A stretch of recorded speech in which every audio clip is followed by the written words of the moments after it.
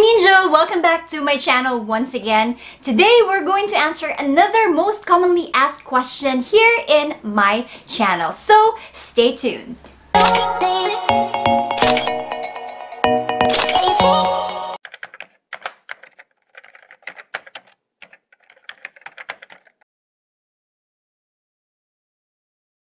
Today's question is about salary. So, what is the minimum salary for beginner call center agents or entry level call center agents? That is such a very good question because every one of us applies obviously because we also want to earn money. So, this answer is based on my experience other people's experience, my friends, my colleagues, and also based on my research. I consistently do my research when it comes to salary, um, other trends in the call center or BPO industry. So here's what I found out.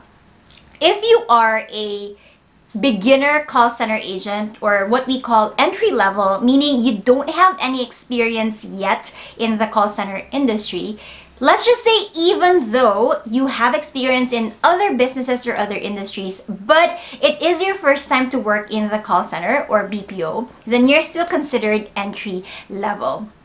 The lowest that a company can offer these days is 12,000 pesos. But I hope that nobody's offering that anymore because I really feel that it's not worth it. There are other companies that offer a bigger compensation and benefits package. When I started in 2009, I was paid a basic pay of 12,000 pesos as a starting salary. However, at that time, I did not really feel that it was a small salary because my account was a financial account and my client was generous enough to add 4,000 pesos on top of our basic pay. When I say basic pay, that is just your salary. That does not include yet all the bonuses or incentives, 13th month pay, and other uh, cash or monetary benefits that your company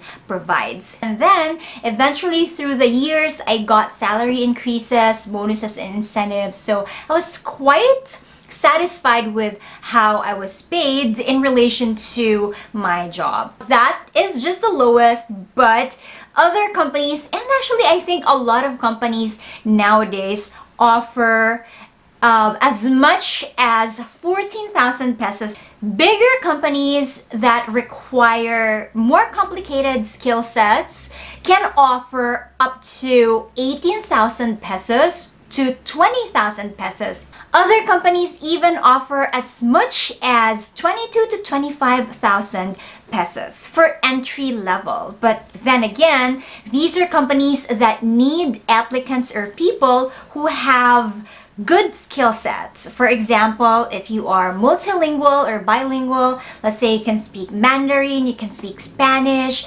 most companies will be willing to pay more for those skill sets. Another thing is that if you're specialized in a certain skill or a company is looking for a specific skill set, let's just say you have to be really good in tech or you have to really be well versed when it comes to making insurance claims, making insurance policies, then they might pay you a little bit bigger. Other companies, though, provide bigger salaries even though you don't have experience as long as you are really good and you are able to reach their expectations and you have also passed their initial requirements or qualifications. So to recap that, the lowest that I believe most companies give is 12,000 pesos. It can increase to 14,000 to 16,000 for some bigger companies. For more complicated skill sets, it can also increase to 18,000 to 20,000 and in some bigger companies, it can be up to 25,000 pesos for entry level. Now, it might be different in your case depending on where you are located as well. Location also plays a little bit of a factor when it comes to your basic pay. Now, for you to make sure that you are given your targeted salary or basic pay, to not believe right away in what you see in the internet or the job postings or job ads because obviously uh, employers ads will always show you the biggest that they can provide to entice more people to apply to their company. So you will see job ads that will say, apply now and earn up to 25,000 pesos. Take note of the word up to or apply now and earn as much as 30,000 pesos. So again, take note of the word as much as. You have to clarify and ask how much the basic pay will be. That's going to be your starting point so that you will know if this is your target salary range. Now, a lot of you might be asking, is the basic pay already what I will receive every single month? So, for example, the basic pay that will be given to you is 16,000 pesos. Is that going to be what you will really receive every single month? So is that going to be 8,000 pesos every 15 days or whatever your um, salary scheme is? Well, the answer is most likely no. Here in the Philippines, we have a new tax law, the train law if you're not yet familiar with that, that was signed, I believe, last December 2017. If you are earning 250,000 pesos or less every year or annually, then you will not pay annual income tax anymore or you will not be taxed every single month. However, remember that there are government mandated tax deductions. So for example, you're supposed to receive 8,000 pesos in a month. There are deductions such as SSS payment, your PhilHealth payment, and Pag-ibig payment or whatever deductions your company may deem necessary. For example, if you enrolled to HMO or your insurance in the company and you're supposed to pay half of it and then half of it will be paid by the company, then that is considered a deduction. So deduct all of those government mandated deductions and all other deductions needed. That is going to be your take home pay every month. Now, good for you if you earn 250,000 pesos yearly because you will not be deducted the tax anymore. When I was working, obviously, I was deducted the taxes every single month. So that made my take home pay even smaller than it already is. Now, if you convert it to a monthly rate, uh, you should be earning 20,800 something, 800 plus below for you to not be taxed. More than that, then you will be deducted the necessary taxes to abide uh, by our government laws.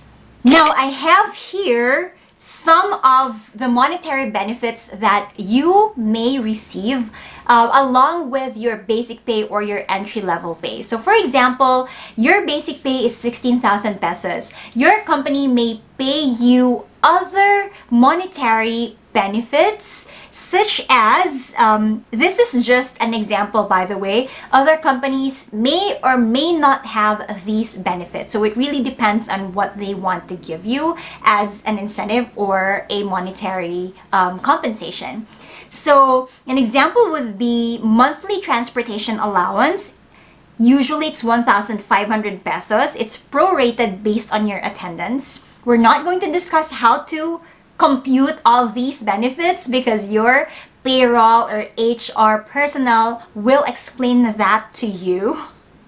We also have monthly meal allowance, which is um, 1,000 pesos in our previous company. So again, the amount depends on your company.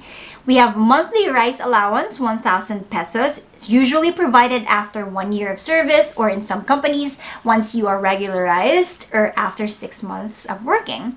Then we have program complexity allowance, We also call this our client program allowance before. The 4,000 pesos that was added to my basic pay, that was the program allowance that I was talking about. So it can be any amount depending on your company. It can be 2, 5, 4K, it depends. We also have the government mandated night differential or night shift allowance or night shift pay. This is also mandated by the government because since you're working the night shift, uh, it is very crucial that you get an additional allowance for that. It's not a joke to work at night. So the night differential should be no less than 10%. 10 to 15% usually for most companies of your regular wage for each hour that you have worked between 10 p.m. to 6 a.m. only. So if your work schedule falls between 10 p.m. to 6 a.m., then you will be paid night differential for those hours. Uh, say, for example, you work until 12 midnight. So you will be paid two hours worth of night differential pay.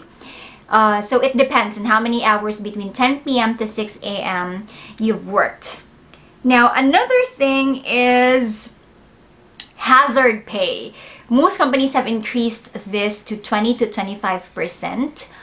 In other industries, this is also mandatory, but in the call center or BPO industry, it is not really mandatory. It's just given by your company because they believe that call center work, going to your job in the dead of the night or in the wee hours of the morning is very dangerous and hazardous. Of course, you are exposed to different kinds of criminalities and other stuff, so it's considered hazardous. That's why they provide hazard pay. So it also depends on the company.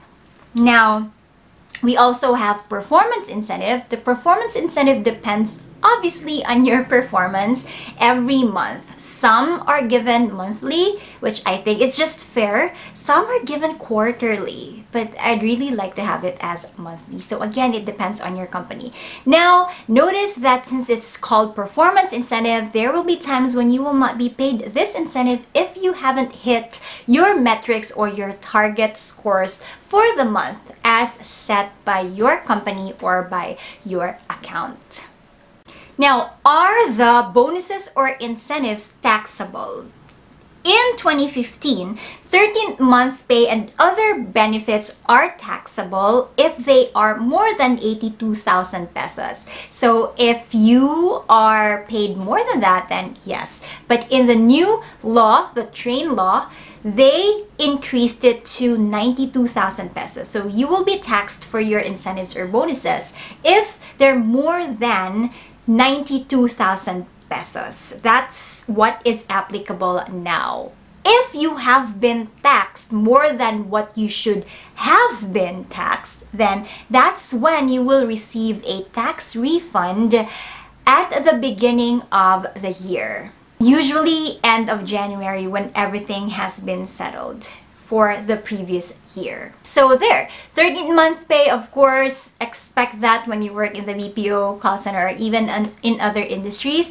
It is equivalent to your one month worth of basic pay. So if your basic pay is 16,000 pesos, then you will be paid 16,000 pesos in December of every year and it's prorated depending on how many months you've already worked for in the company. In other companies, they actually pay it half and half. So half of your basic pay in the middle of the year, then half before Christmas. So it depends on your company and it is non-taxable as long as it's not more than 92,000 pesos. So I hope you've learned about the basic compensation and benefits that you can get from your company once you apply. Again, if you really want to know if that is your target salary before you apply, do your own research. It's much better to ask insider information from people who work in that certain company just to be sure that you have the correct information. Once again, thank you so much for watching and for listening. Like and subscribe if you haven't yet. And don't forget to hit that notification bell just so you'll be informed if I have new videos. Again, my videos are every Tuesdays and Fridays, so see you again on the next one. Take care and